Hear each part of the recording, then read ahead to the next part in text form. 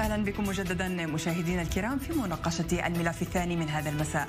يتجدد الجدل في تونس بعد ساعات من نيل الحكومة التونسية الثقة البرلمانية.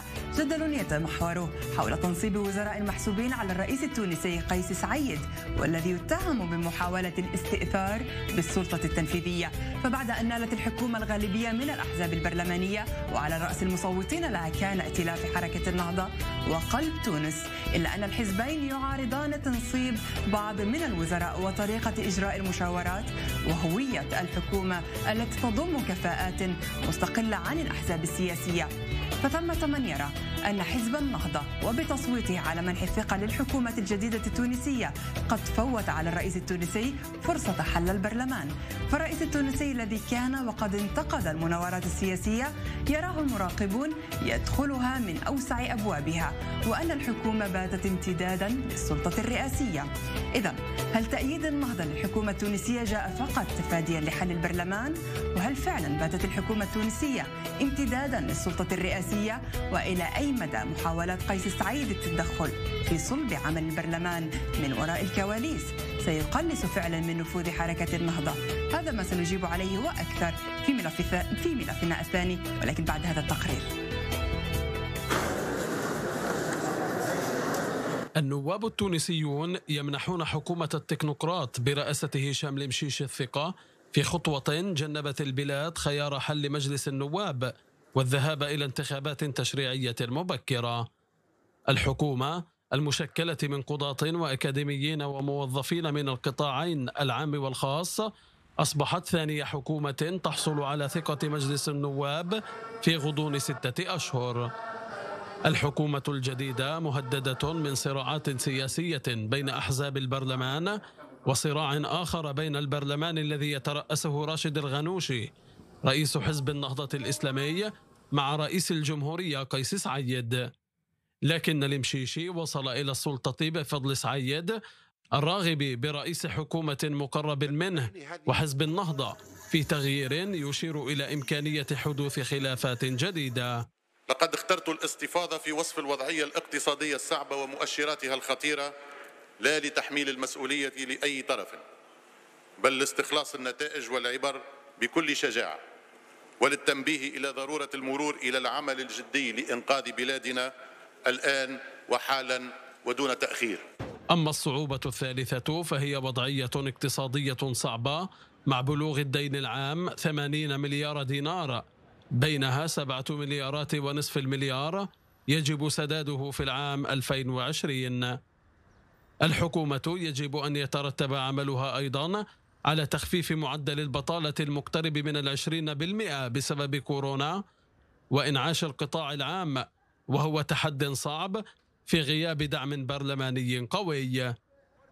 تونس التي تعاني لإنجاز ميزانيتها يفترض أن تستأنف المحادثات مع صندوق النقد الدولي. صندوق انتهت مدة برنامجه الممتد على أربع سنوات في الربيع الماضي.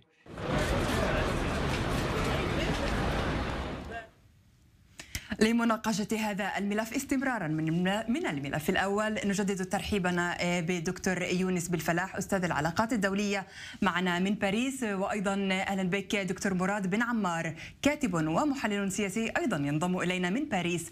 وينضم إلينا أيضا السيد وجيه بالفريخة. ناشط تونسي. سيد وجيه أفتتح هذا النقاش معك. يعني إلى أي مدى نرى بأن تأييد قلب تونس وحركة النهضة للحكومة الجديدة ما هو إلا تجنبا لحل لحل البرلمان الذي قد يقع تحت سلطة الرئيس التونسي والذي فعلا يقع تحت سلطة الرئيس التونسي؟ تحية لك أستاذة وتحية لضيوفك الكرام.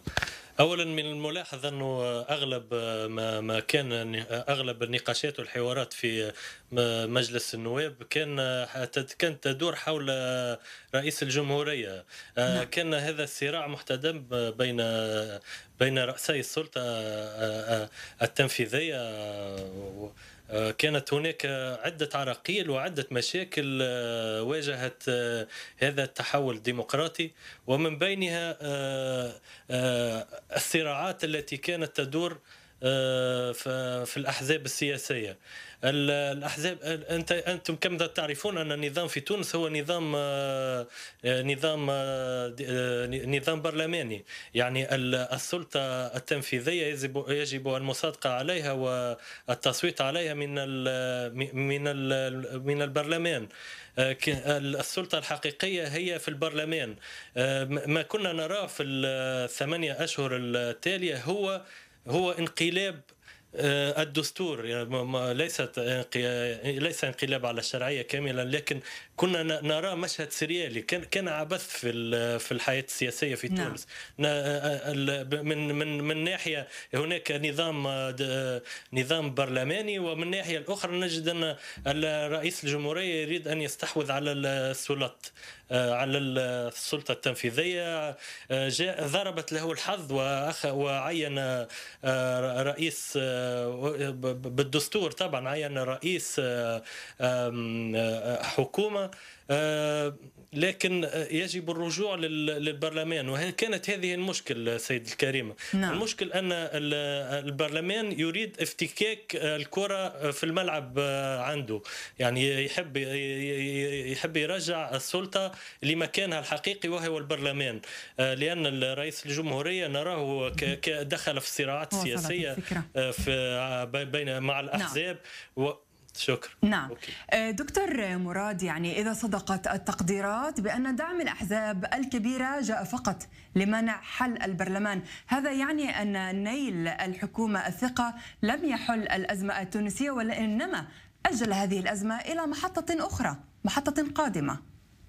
أهلا وسهلا بك وبضيوفك الكرام. أريد أن آه، أشير إلى مسألة هامة أن مرور حكومة المشيشي وخطاب رئيس الجمهورية البارحة يؤكد نهاية قيس سعيد سياسيا.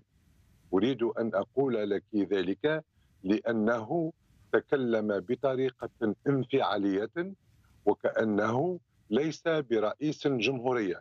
فأنت تعرف ربان الباخرة أو الذي يقود الطائرة حتى في الأزمات الجوية الكبرى يخرج لتهدئة المسافرين.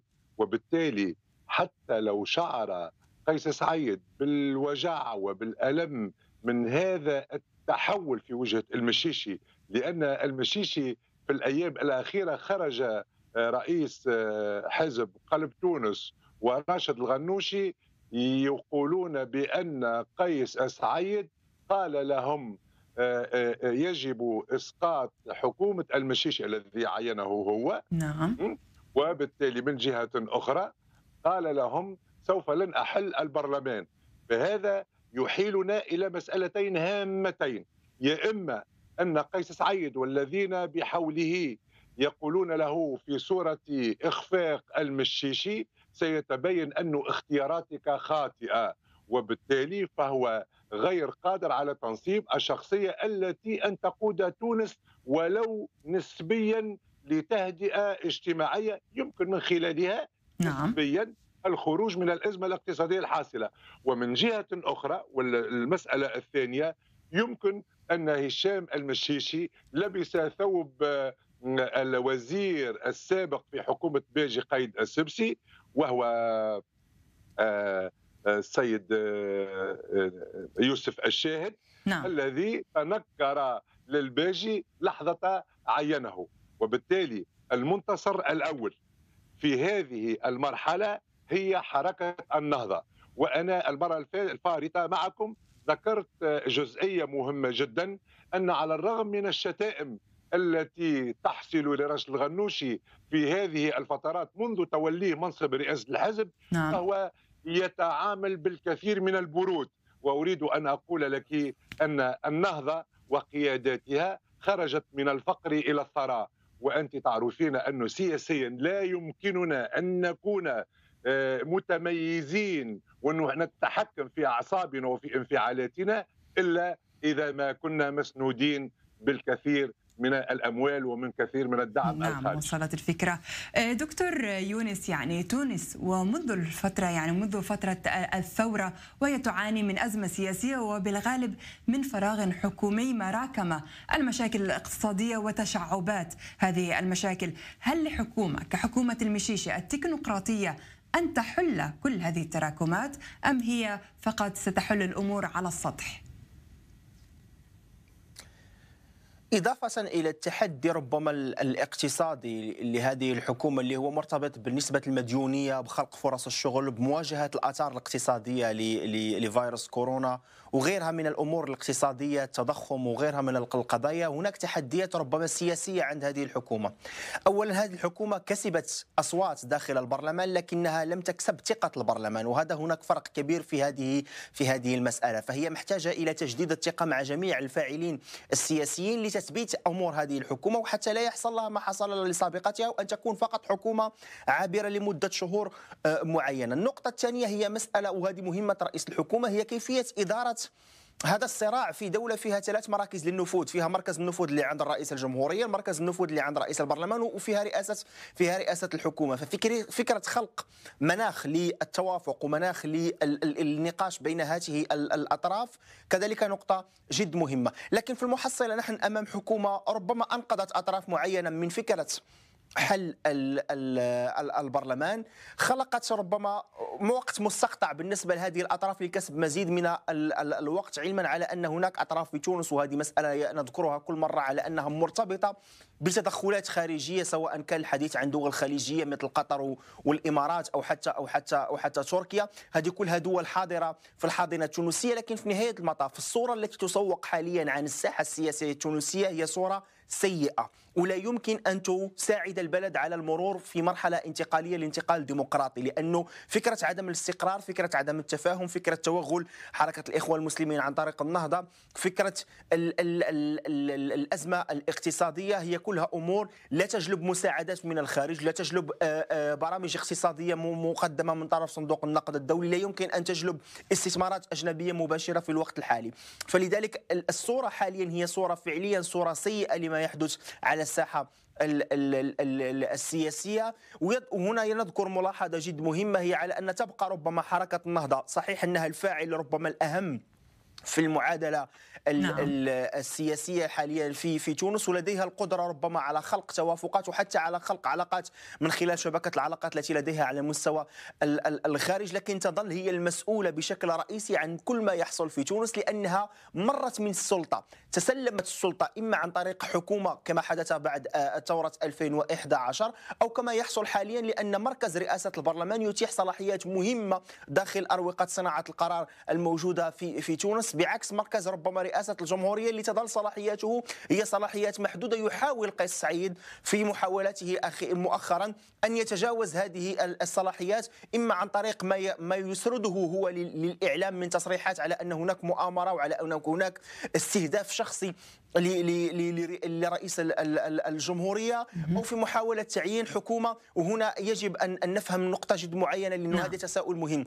فكرة القول على انه هذه حكومة تكنوقراط ماذا يعني فكرة تكنوقراط لأنه هذه الكلمة أصبحت صراحة كلمة شعبوية ويتم استعمالها في العديد من السياقات تكنوقراط بمعنى أن يكون هناك خبير أو مختصين في مجالات معينة هؤلاء موجودين أصلا في الوزارات موجودين كمستشارين موجودين كمديرين للإدارات لكن لا توجد فكرة حكومة تكنوقراط بمعنى أنها خبراء خالصين من الجوانب ال ال ال السياسية سوف نعم تكون نعم. لهم ميولات سياسية سوف يكون لهم قناعات بالاهتمام نعم. بالدولة ثم أن السياسة يفعلها السياسيون لا يفعلها سنتوسع معك أكثر في هذا المحور. سيد وجيه يعني حركة النهضة أيضا لوحت بسحب الثقة عن هذه الحكومة بعد أشهر في حال لم تحل الأزمات. يعني هل هذا تحصيل حاصل بكل الحالات؟ يعني الغنوشي وحركة النهضة سيسعون أيضا لسحب ثقة الحكومة حكومة الكفاءات على أي سبب من الأسباب؟ كما يراه بعض المراقبون.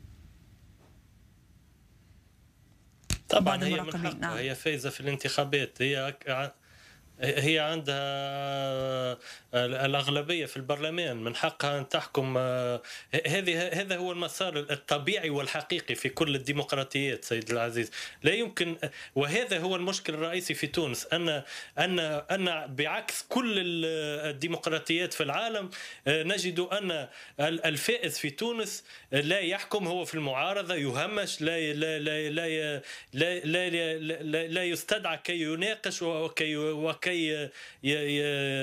يناقش الحكومة وكي يعطي وزراء أو كي يتشاورون معه يهمش. ونجد جاء الذي لم يجب حتى مقعد واحد وهو يوسف الشاهد. ليس السيد آه، آه، رئيس الحكومة الفارط. نعم. هو الذي يعيطوا كي يكون رئيس حكومة. هذا هو المشكل الحقيقي سيد العزيز. ومنطق المغالبة السياسية هذا هو الذي أدى في, في تونس إلى ك إلى أن السياسة تلخبط. هناك هناك مشهد سريالي غير غير عادي في تونس. آه، آه، هناك عدود عديد من الرؤوس التي تحكم في تونس.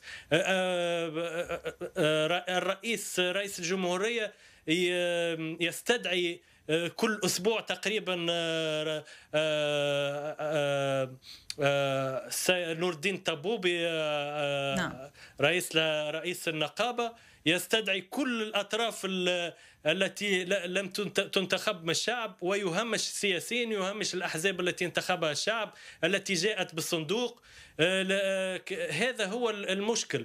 آه، ليس هناك حوار بين بين الأطراف السياسية بين رؤوس السلطة آه، بين الرئيس بين نعم بين رئيس هناك حرب حقيقية نعم. بين رئيس البرلمان ورئيس رئاسة الجمهورية. نعم.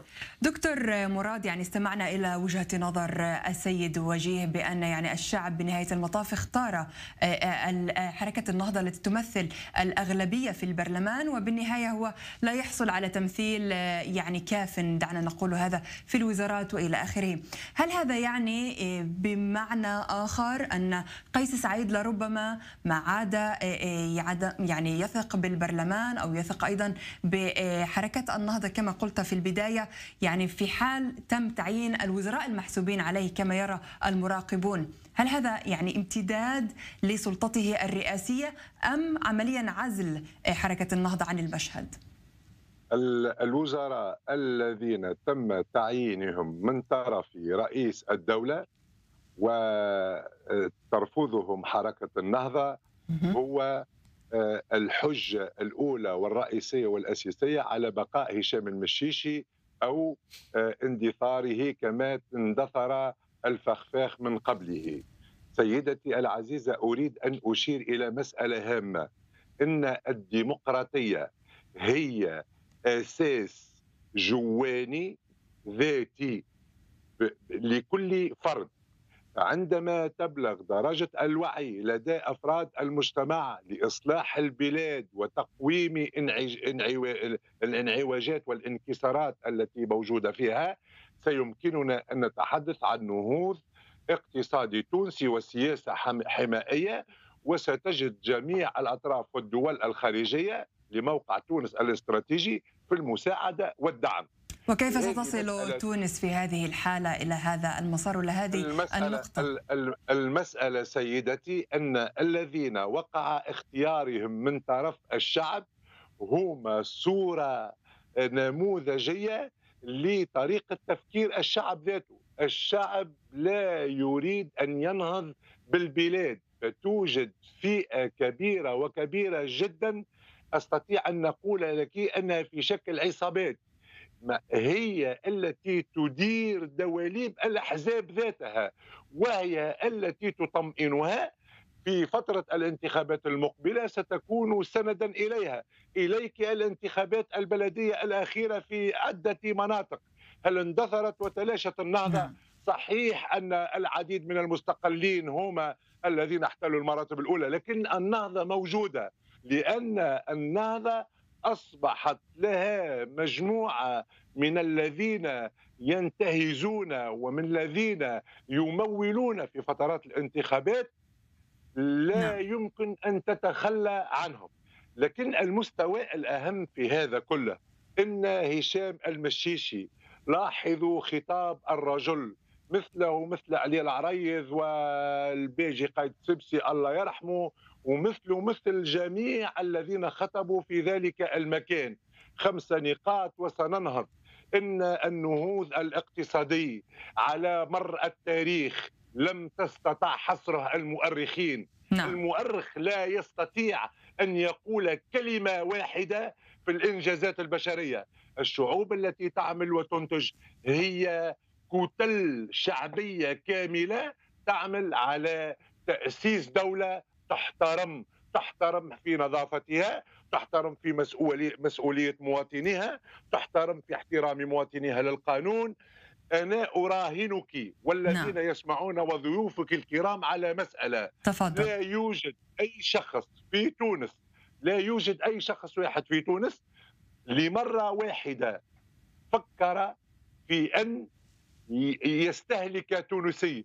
بل الأدهى من ذلك في مرة من المرات الرأس الأول المدبر على الاستهلاك المنتوج التونسي. وجدته فرصة في فضاء آه، لم يشتري ولو منتوج تونسي واحد. نعم وصلت الفكرة. دكتور مراد. نعم وصلت الفكرة. دكتور يونس يعني استمعنا إلى ترحاب أيضا عربي وأوروبي للحكومة الجديدة التونسية. على الرغم من تحدثنا عن الحاضنة التونسية يعني المشبعة من أطراف أخرى التي ذكرتها حضرتك كقطر وتركيا. إلى أي مدى يعكس هذا الترحاب لسياسات قيس سعيد التي تعتبر لربما سياسات محايدة نسبيا في المنطقة؟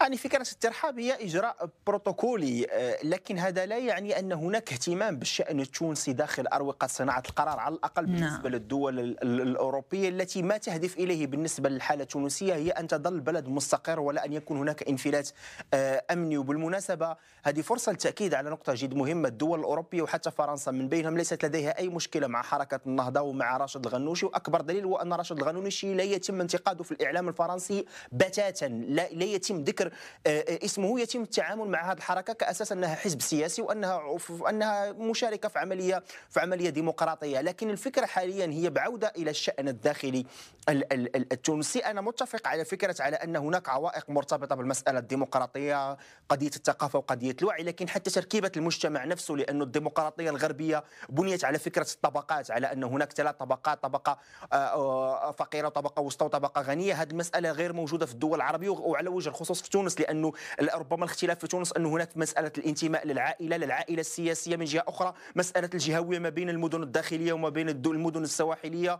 اللوبيات حتى التي تعمل لأنه يجب أن نتذكر على أن أهم اتفاق سياسي حدث منذ الثورة لليوم كان الفاعل الرئيسي فيه هي النقابات اللي حصلت فيما بعد على على على جائزة النوبل للسلام. هناك دور مهم حتى لأرباب العمل وتم الاستعانة بهم مثلا من طرف نبيل قروي في في الحملة الانتخابية سابقا في في الرئاسة. فالفكرة انه الفاعل السياسي غير ناضج حاليا نعم. لكي يمارس عملية ديمقراطية ويتم استعمال كلمات ومصطلحات من قبيل تكنوقراط وغيرها من المفاهيم لكن في نهاية المطاف نحن أمام مشهد عبثي مشهد أهم ميزته حاليا هي مسألة الاصطفاف ومسألة الاستقطاب هناك قطب يشكل من طرف النهضة وباقي بعض الأحزاب التي تتعامل نعم. مع النهضة بهذا محمد عبو إلى لكن في نهاية المطاف خليفة لي نعم. للنهضة وقد لا أستبعد مستقبلا أن يكون هناك حتى توافقات ما بين قيس سعيد وما بعض نعم. بعض الأطراف الأخرى المنتمية للنظام النظام السابق مثل عبير موسي نعم. وغيرهم نعم. سيد وجيه يعني دكتور يونس قال عن الاصطفافات هل هنالك خيارات أخرى للنهضة في حال مضى